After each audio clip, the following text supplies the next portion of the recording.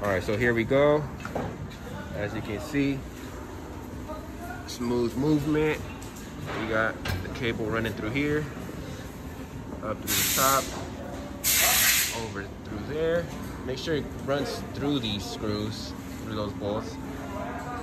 Got it right there.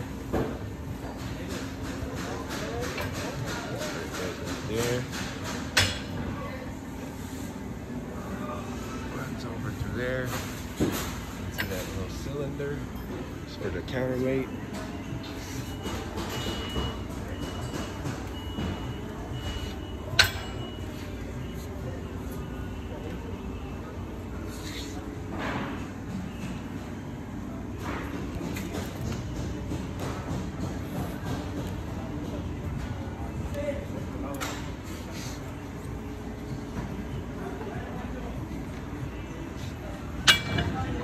That one on top right.